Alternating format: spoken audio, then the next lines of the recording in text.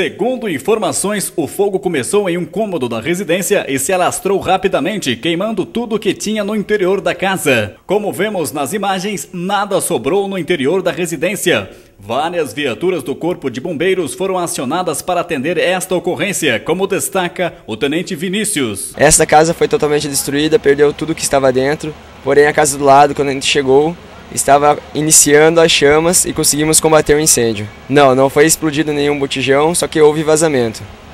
Motivo do fogo, vocês conseguiram ver? Segundo o morador, o motivo foi um incêndio na cozinha. Paulo Roberto, morador da residência, fala com a nossa equipe e lamenta sobre esse incêndio em sua casa. Fala que não tinha fogo aceso, eu não sei. Mas graças a Deus, no momento, é, ninguém, é, quer dizer, saíram do local e ninguém ficou ferido, né? Ninguém ficou ferido, graças a Deus.